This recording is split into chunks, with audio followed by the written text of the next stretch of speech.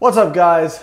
Back with another educational video and this week we're talking about inflammation. Why I do it like that? Well, inflammation tends to be this thing that diet cultists use as kind of like their their their Hail Mary. When studies don't show what they want them to show, they always come back, but what about inflammation? I always find this funny because the research on inflammation is pretty clear that if you lose weight, in, inflammatory markers go down. And if you gain weight, inflammatory markers go up.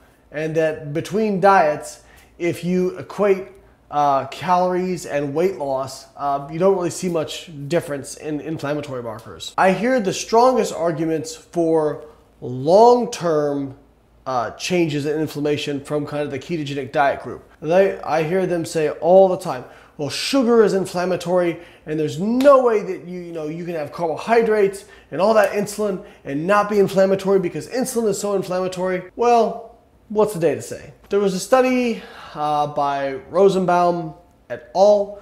and they had uh, people in a metabolic ward where all the meals were provided for them and they looked at a high carb, low fat diet versus a um, low carb, high fat diet. And it was a crossover design, so each person was kind of their own control. They found that actually the people who went on a ketogenic diet, their levels of inflammatory markers slightly increased. Now, it wasn't a big increase, and I don't want to oversell it like the ketogenic diet is just going to make you so inflammatory. That's that's not how this stuff works, all right? But it did increase, even with calories equated and even with uh, uh, they actually lost uh, more weight in the ketogenic diet group, but it was from body water, not from fat. Sorry, ketogenic diet people. Um, it doesn't seem like the ketogenic diet is better for inflammatory markers. Now, the vegans are kind of on the other end of this, or, or plant-based zealots, or whatever you want to say. Every time I say plant-based or I say vegan,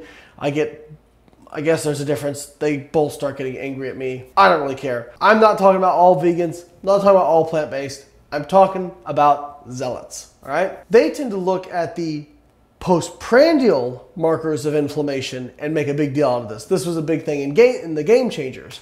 They talked about postprandial levels of inflammatory markers and how meat increases inflammatory markers postprandially, etc., etc. It turns out meat only increases inflammatory markers if you're talking about really fatty cuts of meat. If you're talking about lean meats, um, they don't increase inflammatory markers, or in a couple cases with lean or no fat uh, animal products, it actually decreases inflammatory markers. That being said, we don't know what short term rises and falls in inflammatory markers really mean. In fact, it's very doubtful, in my opinion, that short term changes in inflammation drive in any way disease and morbidity outcomes.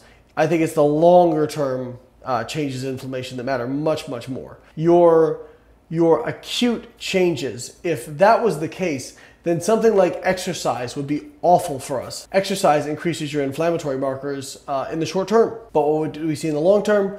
We see a reduction in inflammatory markers with exercise. The other thing that people confuse with inflammation is they really don't understand the difference between systematic inflammation and localized inflammation.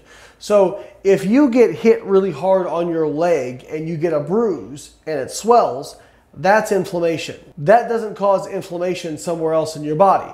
If you have some kind of GI disorder that causes you to have a lot of pain and swelling and sensitivity, that's inflammation in that area it's not causing inflammation systemically. Systemic inflammation are the amounts of these inflammatory markers that circulate in our blood. And they seem to be more predictive of things like cardiovascular disease, possibly cancer, some other diseases. But one, localized, versus systematic are quite different. I even had people say that when I injured my back a while back, uh, it was because I was eating sugar which was causing me to be inflamed, and that's why I got injured. You don't understand how inflammation works. If you get injured, there is then an inflammatory response in response to the injury. It's not you become inflamed and then you get injured, it's you get injured and then there's inflammation in response to it. I hope this video has cleared up some of the misconceptions about inflammation and inflammation with regards to diet. At the end of the day, guys, if you're somebody who's overweight or obese, if you lose a significant amount of body weight, your inflammatory markers will go down